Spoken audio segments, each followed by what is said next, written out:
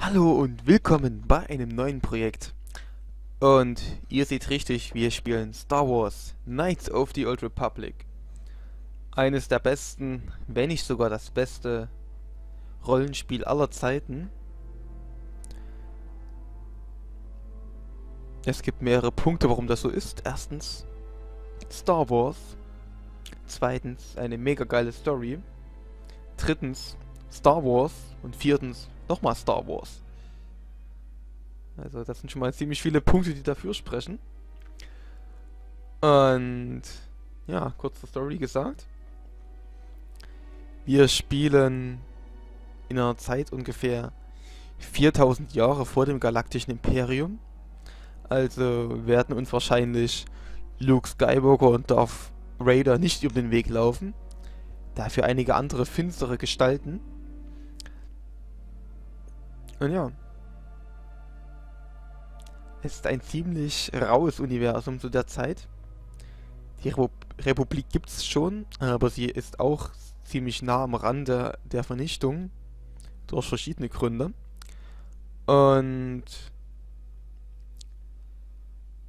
als weitere wird in einer schönen kurzen Zwischensequenz erklärt. Die erste jedoch wird ohne Ton laufen. Das Problem ist, wie bei Lizenzspielen so häufig, dass die Originalmusik, die Eröffnungsmusik aus dem Film verwendet wird. Und da gibt es natürlich Probleme mit der GEMA oder mit anderen lizenzrechtlichen Unternehmen. Und um da den Problemen aus dem Weg zu gehen, mache ich die Musik an der Stelle leise. Aber ich denke, ihr kennt sowieso alle die Intro-Musik von Star Wars, also hoffe ich, ihr verzeiht mir das. Und ja, ich starte einfach mal ein neues Spiel. Und da können wir unseren Charakter auswählen. Wir können uns entscheiden zwischen einem Gauner, einem Speer und einem Soldaten, männlich oder weiblich. Aber wir werden einen männlichen Charakter spielen, und zwar einen Gauner. Denn das möchte ich mal einfach spielen. Und ich halte mich mal so weit an den Kanon, auch wenn Disney erklärt hat, dass der Kanon dieser Zeit nicht mehr aktuell ist so behaupte ich dennoch, dass dieses Spiel, dass man dieses Spiel niemals rauskriegen wird aus dem Verständnis der Spieler und Fans. Und der Kanon sagt, dass die, die Hauptcharakter in diesem Spiel männlich ist. Und mehr möchte ich erstmal nicht dazu sagen. Zur Story, wer wir sind und so weiter. Wir sind einfach ein Gauner, der in dieser Welt ja, aufgewacht ist, könnte man sagen. Wir erstellen unseren Charakter speziell.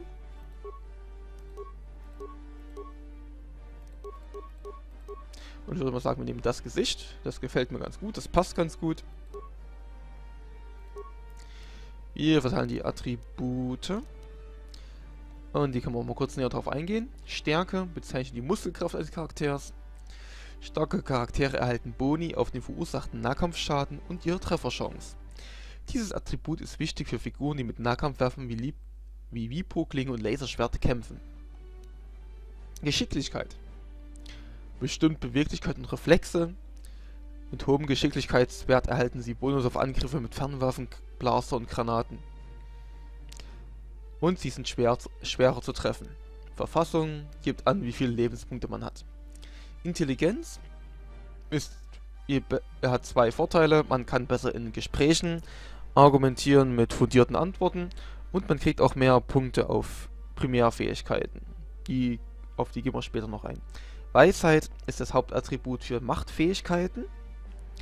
Und Charisma beeinflusst ebenfalls die Macht, ist aber auch wichtig für Preise, wenn man handeln will. Und auch, wenn man eine bestimmte Gesprächsoption freischalten möchte, ist Charisma, Charisma ebenfalls sehr, sehr wertvoll. Wir gehen erstmal auf Empfohlen, nehmen etwas von Geschicklichkeit runter und ich setze das in Weisheit, denn ich möchte einen weisen Jedi spielen beziehungsweise ein Jedi, der sehr auf Machtfähigkeiten aus ist, denn ihr hättet es bereits ahnen können, man kann später zu einem Jedi werden. Das möchte ich natürlich erleben. Und ich denke mal, wir haben eine ganz gute Verteilung. Nein, ich nehme nur einen Punkt auf. Hm, Intelligenz oder Charisma? Ich nehme Intelligenz. hier gibt es jetzt die Primärfähigkeiten. Einmal Computer, wie gut wir halt hacken können mit innerhalb von Computersystemen. Sprengstoff, wie gut wir Minen entschärfen oder platzieren können. Tarnung, selbstredend, ob wir unsichtbar sein können und ob und jemand bemerkt. Bewusstsein, wie gut wir jemanden erkennen können, der getarnt ist, oder ob wir eine Mine entdecken, die irgendwo versteckt ist. Überreden, ob wir jetzt bestimmte Gesprächsoptionen nochmal freischalten können. Reparieren, ob wir Druiden oder sonstige Geräte reparieren können, dass sie dann wieder funktionieren bzw. auf unserer Seite kämpfen. Sicherheit dient dafür, um Schlösser zu öffnen. Und Heilen ist natürlich, wie gut wir mit Lebenskits und Medikits und Lebenserhaltungskits umgehen können. Ja. Ich drücke mal auf Empfohlen. Nehme aber die Punkte von Tarnung hinunter, weil ich bei diesem Spiel noch nie auf Tarnung gespielt habe. Und es auch nicht werde. Und ich nehme einen Punkt auf Computer und zwei auf Überreden. Und da passt das schon. Talente. Ich werde einen Punkt auf Zähigkeit geben, das uns pro Level einen zusätzlichen Gesundheitspunkt verleiht. Was ja sehr günstig ist, besonders im späteren Spielverlauf. Halt. Auswählen natürlich. So. Ich bin nicht gerade kreativste, was Namen betrifft, also Nämlich das unkreativste, was man in Star Wars nehmen kann. Wir nennen uns Hans Olo. Und los geht's.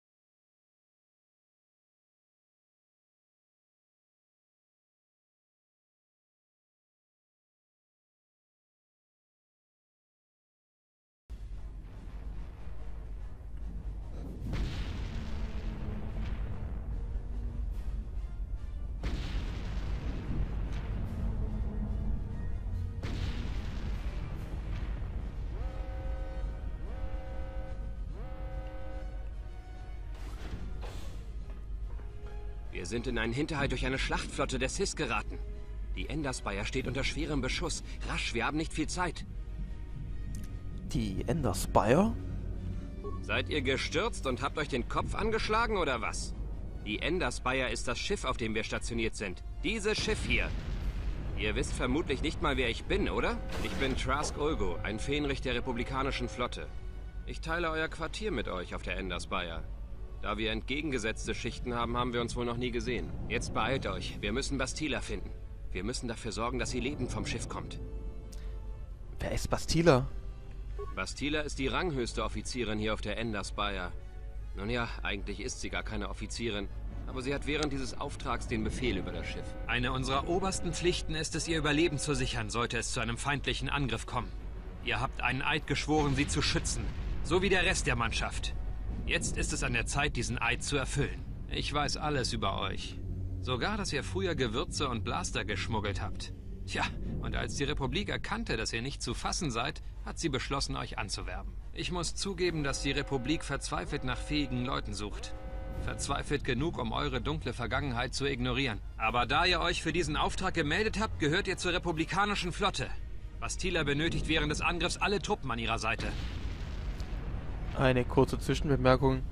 Wenn ihr euch vielleicht wundert, warum es so seltsam ist, dass man Gewürze dran, äh, schmuggelt.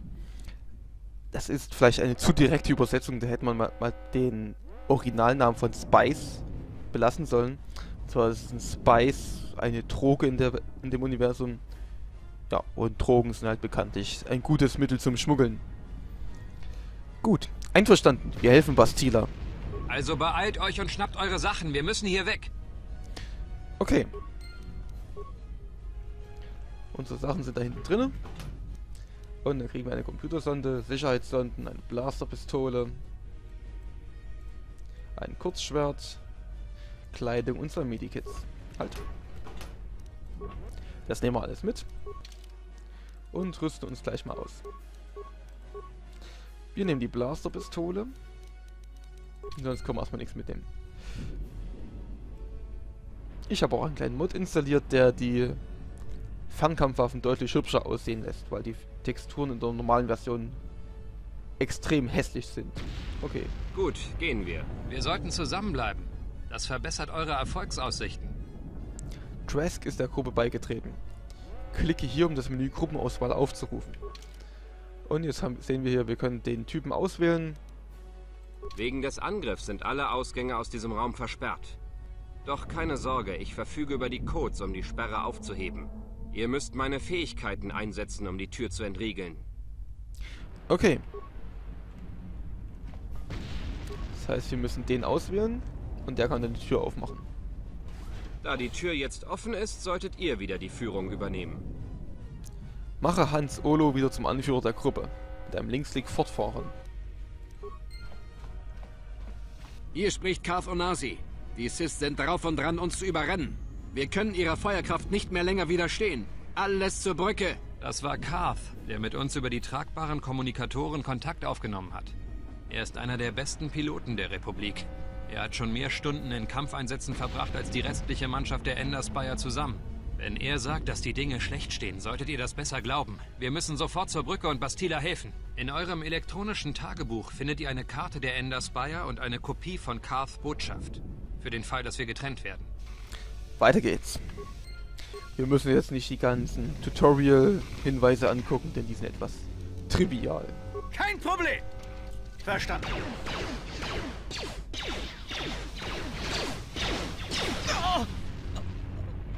Diese Sith müssen die Vorhut sein. Für die Republik! Und da sind wir auch schon in unserem ersten Kampf gegen die Sith Trooper. Oder Soldaten, ja. Und wie ihr seht, das Spiel ist relativ gemütlich, denn es ist rundenbasiert.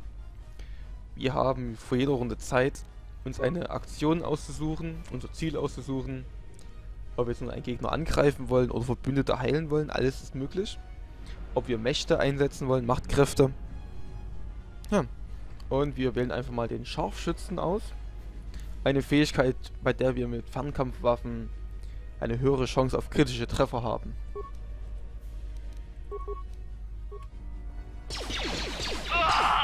Das tat weh!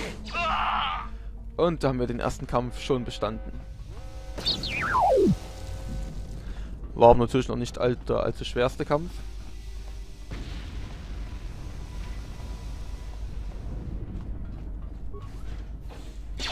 Aber da warten schon die nächsten auf uns.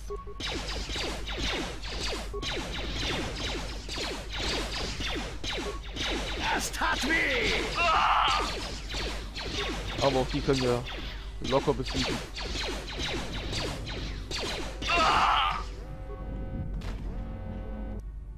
Hier gibt's Medikits und Credits. Credits sind die Währung in dem Spiel. Und was gibt's hier? Splittergranaten, Schwerter. Und Kampfanzüge, sehr gut. Die nehmen wir doch gleich mal mit. beziehungsweise ziehen uns um. Denn der bringt uns einen guten Bonus auf die Verteidigung. Und ich sehe gerade, wir sind verletzt, also nehmen wir mal ein Medikit. Und haben wieder volles Leben.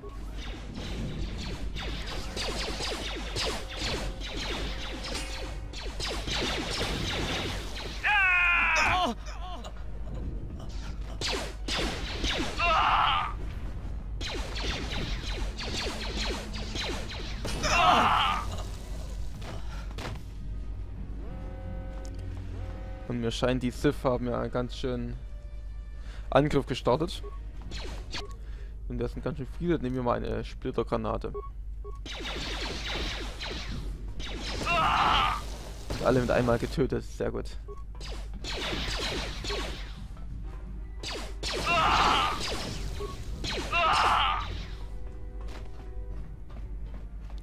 Ja, Granaten sind schon praktisch.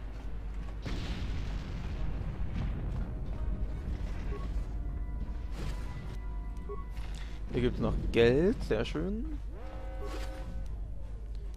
Eine Granate und noch mehr Geld. Und ein Medikit.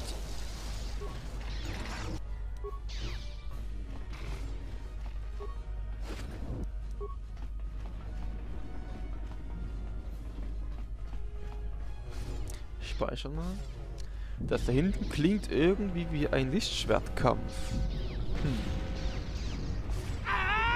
Dunkler Jedi. Dieser Kampf ist nichts für uns. Ziehen wir uns zurück, bevor wir im Weg stehen.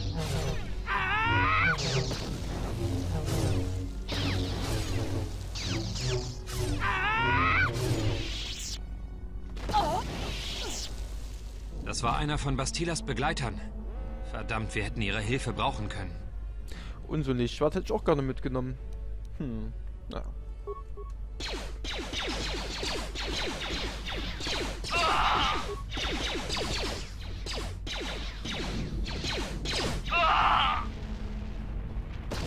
Oh, können wir vielleicht sogar mitnehmen? Nee, schade doch nicht.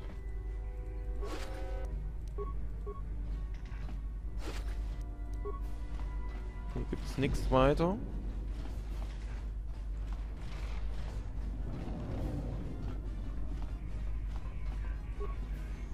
Die Brücke ist direkt hinter der Tür. Ihr rüstet euch besser mit einer Nahkampfwaffe aus.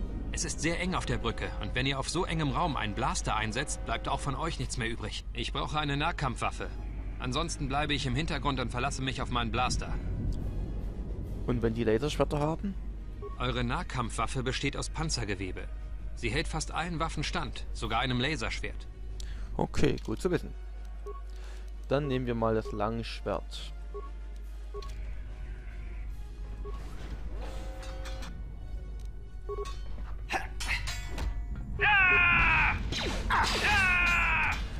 Und man sieht schon, wir haben ja andere Fähigkeiten zur Verfügung.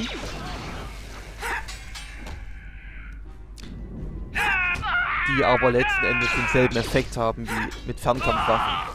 Bastila ist nicht auf der Brücke. Sie müssen bereits zu den Rettungskapseln unterwegs sein. Wir sollten zusehen, dass wir auch zu den Rettungskapseln kommen. Die Sith wollen Bastila lebend. Aber sobald sie das Schiff verlassen hat, werden sie die Ender Spire in Stücke schießen. Dann sollten wir uns auch mal schnell auf den Weg machen. Aber natürlich müssen wir erst alle Gegenstände einsammeln, die hier rumliegen. Denn wir wären natürlich keine guten Rollenspieler, wenn wir nicht alles einsammeln würden, was nicht nied- und nagelfest ist.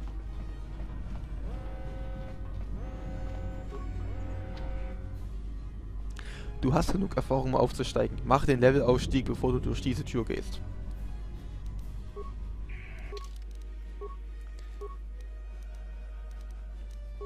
Nee, Tarnung will ich nicht. Wegen der Punkte auf Überreden. Sicherheit und Sprengstoff. Talente.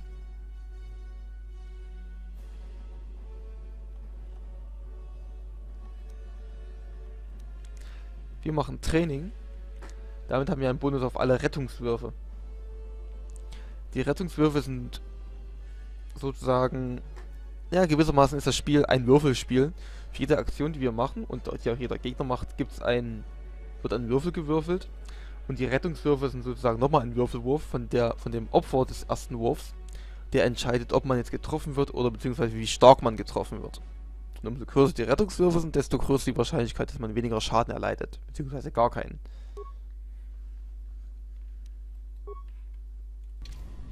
Okay, dann auf durch die Tür.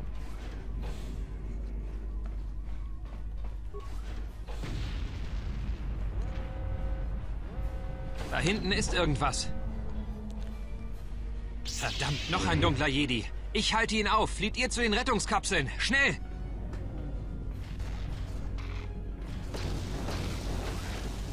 Oh, der ist ganz schön mutig. Dann würde ich mal sagen, wir gehen hier durch die Tür zu dem Steuerborddeck. Schauen, was dort dort Hier erwartet. spricht Karth Onasi auf eurem persönlichen Kommunikator.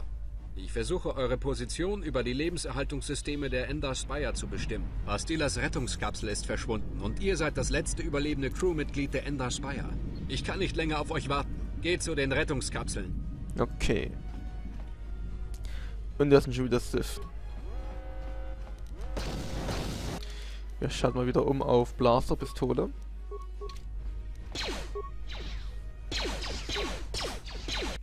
Das Speichern mal lieber. Das tat weh.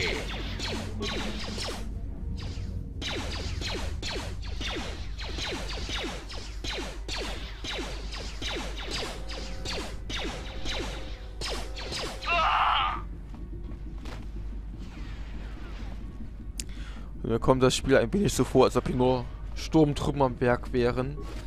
So gut wie hier getroffen wird.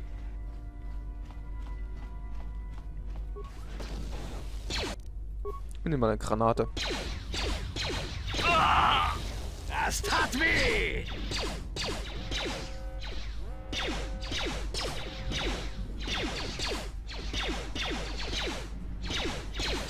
Seid vorsichtig. Auf der anderen Seite der Tür befindet sich eine große Zahl Sis-Trooper. Ihr müsst einen Weg finden, sie zu dezimieren. Ihr könntet diesen beschädigten Angriffsdroiden neu programmieren, wenn ihr genügend Ersatzteile habt. Er wird euch helfen. Ihr könnt aber auch die Computersonde verwenden, um in das Terminal zu gelangen und die Sicherheitssysteme der Ender Spire gegen die Sis einsetzen. Am besten wäre natürlich, wir machen beides, oder?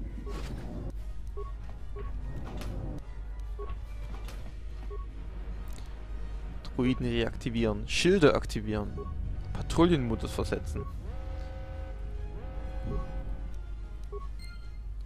Okay, und jetzt noch hier rüber. Und die Leitung überlasten.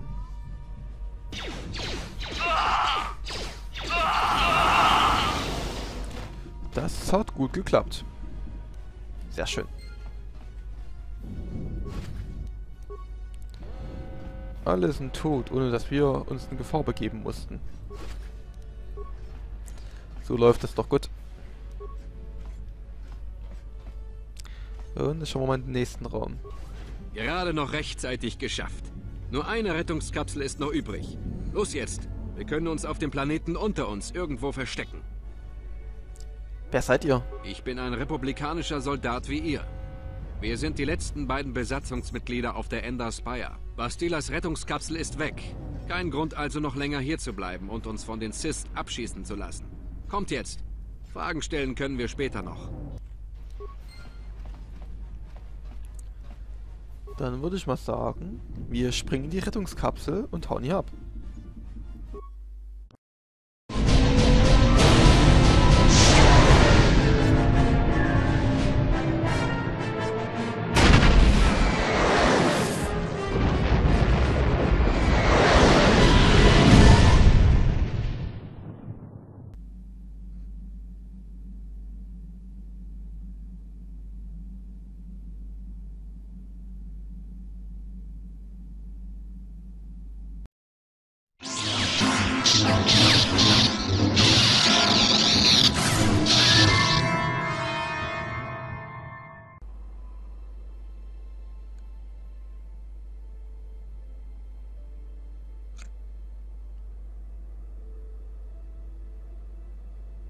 Schön, dass ihr wieder auf dem Damm seid. Ihr müsst einen entsetzlichen Albtraum hinter euch haben. Ich hatte schon befürchtet, ihr wacht nie wieder auf. Ich bin Carth, ein republikanischer Soldat von der Ender Spire. Wir saßen gemeinsam in der Rettungskapsel. Ihr erinnert euch?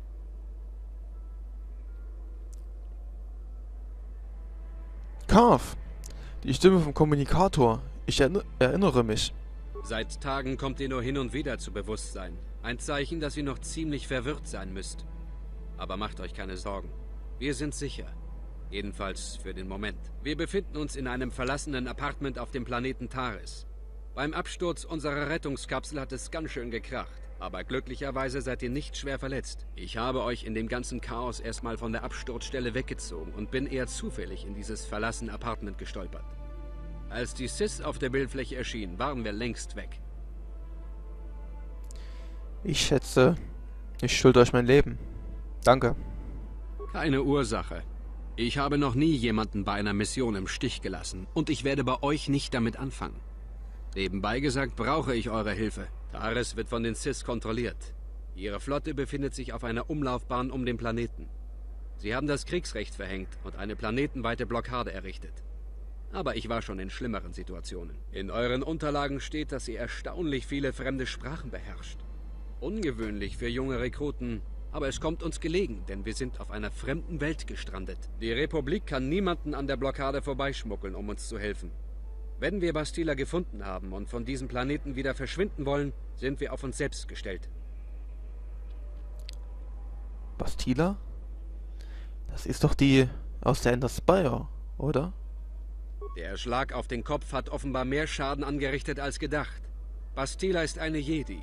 Sie gehörte zu dem Einsatzteam, das Darth Revan, Malaks Sith-Meister, erledigt hat. Bastila ist die entscheidende Figur bei den Kriegsanstrengungen der Republik. Die Sis müssen herausgefunden haben, dass sie an Bord der Ender Spire war und haben uns in diesem System in einen Hinterhalt gelockt. Ich nehme an, dass Bastila in einer der Rettungskapseln saß, die auf Taris stürzten. Der Erfolg der Republik steht auf dem Spiel. Wir müssen sie finden. Woher wisst ihr überhaupt, dass Bastila noch am Leben ist? Ich weiß es nicht genau. Aber Bastila ist jung und verfügt über ein enormes Potenzial der Macht. Wir haben den Absturz überlebt, also gehe ich davon aus, dass sie ihn ebenfalls überlebt hat. Wo ist denn die Alternative, bitteschön? Ist Bastila tot, dann kann niemand Malak und seine Sis davon abhalten, die Republik auszuradieren. Da ist mir die Annahme, sie sei am Leben entschieden lieber. Wie kann eine Person, selbst wenn es sich um eine Jedi handelt, so wichtig sein? Bastila ist keine gewöhnliche Jedi. Sie besitzt eine seltene Gabe, welche die Jedi-Kampfmeditation nennen. Bastilas Macht kann ganze Armeen beeinflussen. Mit Hilfe der Macht erzeugt Bastila bei ihren Verbündeten Zuversicht und raubt ihren Feinden den Kampfeswillen. Manchmal genügt das schon, um eine Schlacht zu entscheiden. Natürlich sind ihrem Einfluss auch Grenzen gesetzt. Soweit wir wissen, ist große Konzentration vonnöten, um die Technik der Kampfmeditation aufrechtzuerhalten. Der Angriff auf die Ender Spire erfolgte so plötzlich, dass sie keine Gelegenheit mehr besaß, ihre Kampfmeditation einzusetzen. Sie kann froh sein, diesen Angriff überlebt zu haben. So wie wir. Was schlagt ihr also vor, was wir als nächstes tun sollten? Bastila braucht unsere Hilfe. Viele Anhänger von Dars Malak operieren mit der dunklen Seite der Macht und die Sis haben in diesem Krieg schon mehr als genug Jedi umgebracht. Niemand wird hier nach ein paar einfachen Soldaten wie uns suchen. Mit etwas Vorsicht können wir uns auf dem Planeten bewegen, ohne Aufsehen zu erregen. Ein Luxus, den Bastila nicht genießt. Hier ist die halbe Sis-Flotte auf den Fersen. Sie wissen, wie wichtig sie für den weiteren Kriegsverlauf ist. Der ganze Planet steht unter Quarantäne. Kein Schiff kann starten oder landen. Wenn Bastila diesen Planeten verlassen will, braucht sie unsere Hilfe. Und wir möglicherweise die ihre.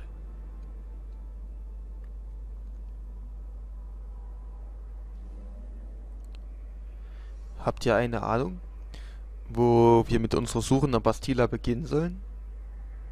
Während ihr euch noch erholt habt, habe ich mich ein wenig umgehört. Es gibt Berichte, wonach eine Reihe Fluchtkapseln hier in den Slums runtergekommen sein sollen. Dort könnten wir anfangen. Doch die Slums sind gefährlich. Wir sollten keinesfalls unvorbereitet dort herumlaufen. Ich tue Bastila keinen Gefallen, wenn wir einfach losmarschieren und uns umbringen lassen. Ich möchte euch ein paar Fragen stellen. Ich werde euch nach bestem Wissen und Gewissen antworten, aber ich weiß nicht, ob ich eine große Hilfe sein kann. Was wisst ihr über Malak und die Sith? Über Malak weiß ich auch nicht mehr als das, was allgemein bekannt ist. Er entkam der Falle, die Darth Revan seinem Sith-Meister das Leben kostete. Nach Revans Tod ist Malak der neue dunkle Lord. Malak ist ein rücksichtsloser Tyrann, der jeden zerquetscht, der sich ihm in den Weg stellt, so wie Revan auch. Die Erfahrung hat gezeigt, dass die Sis nicht eher ruhen werden, bis die Republik in Trümmern liegt. Malak und seine Sis akzeptieren nichts außer roher, brutaler Gewalt. Es ist nur schwer vorstellbar, dass ein früherer Jedi zu einem solchen Monster mutieren konnte. Ein Jedi? Was wollt ihr damit sagen? Malak und Revan gehörten einst beide zum Orden der Jedi, doch sie waren jung und eigensinnig. Gegen den ausdrücklichen Willen des Rates nahmen sie an den Mandalorianischen Kriegen im Outer Rim teil. Dort muss etwas geschehen sein. Irgendetwas hat sie beeinflusst und auf die dunkle Seite gezogen. Vielleicht waren sie aber auch vorher schon innerlich kaputt. Ich weiß es nicht. Sie bildeten eine Armee aus ehemaligen republikanischen Soldaten und Jedi, die der dunklen Seite verfallen waren. Revan war der Anführer, bis er dem Einsatzteam unter Bastilas Führung zum Opfer fiel. Doch selbst das konnte den Vormarsch der Sith nicht stoppen. Malak schlüpfte einfach in Revans Rolle. Er übernahm das Kommando über die Sith-Armada und nahm den blutigen Eroberungsfeldzug in den äußeren Welten wieder auf. Macht euch keine Sorgen. Wir werden einen Weg finden, um die Sith aufzuhalten. Ich hoffe, ihr habt recht. Aber bisher hat die Republik diese Leute nicht aufhalten können. Auch nicht mit Unterstützung des Rates der Jedi. Bastila ist möglicherweise die letzte Hoffnung der Republik. Was könnt ihr mir dem Planeten sagen, auf dem wir uns gerade befinden? Taris war einst eine riesige, den Planeten umspannende Metropole mit mächtigen Wolkenkratzern. Doch das ist lange her. Die Oberstadt, wo die reichen Leute wohnen, ist nach wie vor ziemlich sicher. Ohne die Besetzung und die Quarantäne der Sis wäre das immer noch kein schlechter Ort zum Leben. Aber weiter unten haben sich die Dinge verändert. In der Unterstadt herrscht das nackte Elend. Dort treiben sich zahlreiche Swoop-Bike-Banden herum, die sich endlose Gefechte um die Vorherrschaft liefern. Und in den Slums ist es noch schlimmer. Der unterste Teil von Taris ist eine Einöde, in der es vor Rakul nur so wimmelt. Hirnlose und kranke Mutanten, die sofort zum Angriff übergehen, wenn sie jemanden sehen. Diese Informationen befinden sich bereits alle in eurem Datapad-Tagebuch. Ich würde gern mehr über euch erfahren, Carf. Ich kann verstehen, dass ihr mehr über mich erfahren wollt. Ich habe das unbestimmte Gefühl, dass wir demnächst noch viel Zeit gemeinsam verbringen werden. Aber das ist jetzt wirklich nicht der geeignete Zeitpunkt für langwierige Erklärungen. Wir sollten uns auf unsere nächste Aufgabe konzentrieren. Alles andere später. Je früher wir beginnen, nach Bastila zu suchen, desto früher finden wir sie. Gehen wir. Gute Idee. Wir nehmen dieses verlassene Apartment als Stützpunkt. Vielleicht finden wir hier in der Oberstadt ja sogar ein wenig Ausrüstung. Vergesst aber nicht, euch zurückzuhalten. Ich habe schon entsetzliche Geschichten über die Verhörmethoden der dunklen Jedi gehört. Man sagt, die Macht könne fürchterliche geistige Verheerungen anrichten. Angeblich kann sie Erinnerungen auslöschen und die eigene Identität vernichten. Aber wenn wir uns nicht völlig dämlich anstellen, dürfte eigentlich nichts schiefgehen. Schließlich suchen sie Bastila und nicht solche Knallchargen wie uns. Also gut, Soldat, lasst uns gehen. Gut. Und damit haben wir auch schon den ersten Part auf der Ender Spire und damit auch das Tutorial, könnte man schon fast sagen, abgeschlossen und haben den ersten Planeten in diesem Spiel, Taris, betreten. Oh ja, es ist der erste Planet und es wird garantiert nicht der letzte sein. Es werden einige Planeten sein, die wir besuchen werden mit lauter Quests und Aufgaben und lauter interessanten Persönlichkeiten. Und wie wir Einfluss haben werden auf diese Personen, diese Welten, was wir da alles tun können, das werden wir alles im Laufe dieses Let's Plays erfahren. Ich hätte eine Bitte an euch. Ihr wisst, es ist das Star Wars Universum und das heißt, wir können aussuchen, wie wir sein wollen. Ob wir uns eher der hellen Seite verschreiben oder der dunklen Seite. Es ist alles eine Frage unserer Wahl. Ich spiele gerne auch gerne mal die dunkle Seite in solchen Spielen. Aber ich werde mich nach euch richten. Ihr könnt das gerne in die Kommentare schreiben, was mehr Zuspruch erhält, das werde ich dann machen. Also wenn mehr Leute sagen, ich soll auf der hellen Seite spielen, dann werde ich das auch tun. Oder umgedreht. Ja, da bin ich mal gespannt, wie ihr euch entscheidet. Und wie es dann weitergeht. Und was uns hinter dieser Tür dort erwartet. Auf der, in der weiten Welt von Taris. Das sehen wir dann in der nächsten Folge. Ich hoffe, ihr hattet viel Spaß. Schaltet auch beim nächsten Mal wieder ein. Bis dahin, haut rein und ciao.